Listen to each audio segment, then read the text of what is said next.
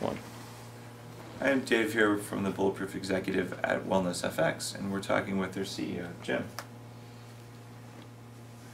We're going to talk about a few different vitamins and supplements and lab values and how Jim's own data has interacted with them, and we'll talk about some things you can do to be a little bit healthier. Jim, let's start by talking about vitamin D. Wow, great topic.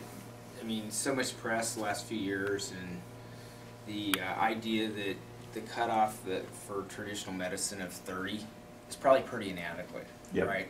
And so now you have the phenomena of people blasting themselves five, 10,000 IUs, thinking that it can't hurt you, and Mm-hmm. and there's no changes or anything else. And, and yet, you know, recent literature this year really shows that there's probably a different set point for every person. That's definitely been my experience. Uh, I could not get my numbers above about 50, so I started taking more and more and more, and suddenly they popped up to like 125, and I did notice the inflammation from that. Like it, it actually was, you could just feel the difference. So, so what marker do you uh, track on inflammation for that? I mean, I have my own pet marker, but I, you know, I, I wasn't using a marker there because I did that between tests. Ah, okay. So that's one of the reasons that I like the model at Wellness FX of doing it every six months. 'cause I typically do it annually just because it, it's been a pain to date in order to get all the data.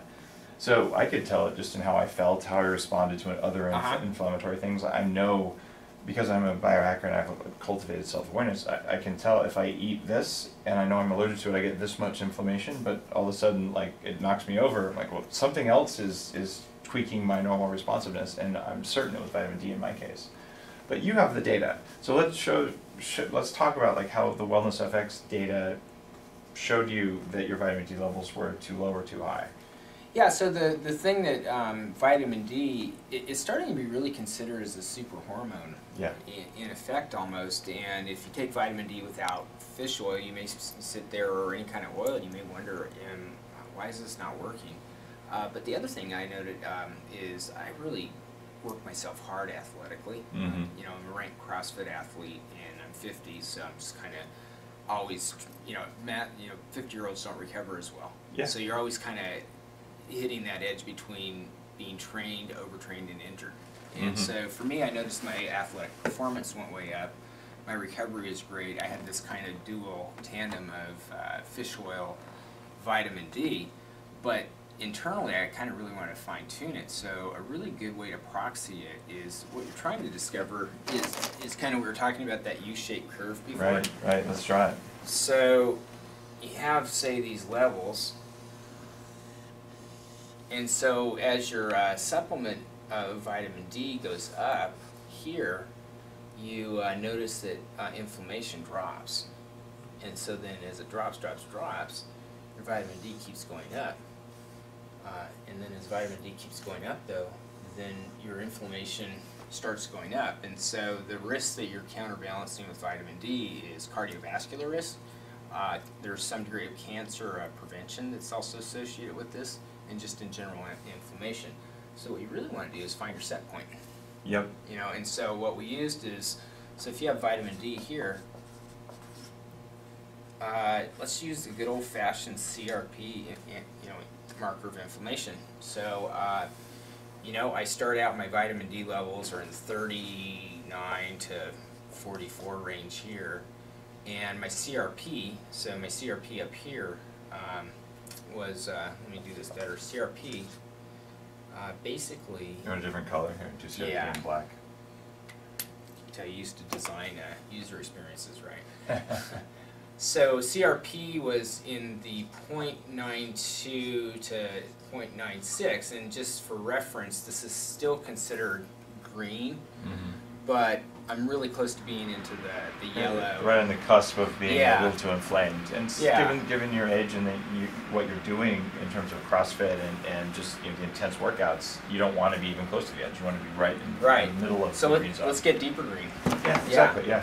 So so then the vitamin D starts kicking up, and CRP is going down. So I got to you know the kind of the 40s, the, about 0.48 here, uh, as I hit uh, right around uh, 47 to uh, you know low 50s with my vitamin D uh, measures, and I'm taking these tests in tandem. So the next thing that happens is I went, wow, that's pretty good. I'm gonna up vitamin D to about 10,000 uh, units. And my next test, I'm at 63, and you know what? My CRP is actually higher than over here. I crested into yellow territory, I hit one. Mm-hmm. So then, I actually backed it off, and my next CRP test came back in as 0.61. So really, my sweet spot is seemed to be a vitamin D measure in the 40s, 50s. If I start getting into 60s, uh, I'm back in the inflammatory area. Mhm. So I can really moderate that by thinking three to 5,000 IUs of vitamin D. Uh, my regular fish oil to make sure it's activated, and I'm good.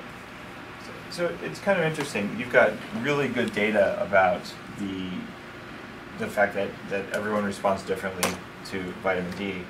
And I mean, I've talked uh, with Dr. Cannell and had him speak at uh, the Silicon Valley Health Institute, the nonprofit anti-aging group that I run.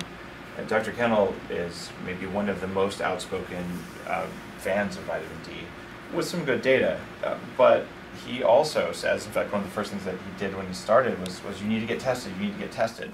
This is one of those tests that if you're only going to get one thing tested, maybe this would be the one. And there are many other, you know, general inflammation It's such a fantastic canary in the coal mine. Yeah. Right? I mean, you can see inflammatory Mhm. effect, but you know, if your inflammation up, generally you need to go over and kind of poke around and Right. cardiovascular, right? Because that's Mhm. systemic inflam- inflammation going on there. So yeah, it, it's uh, such a fantastic thing to start with.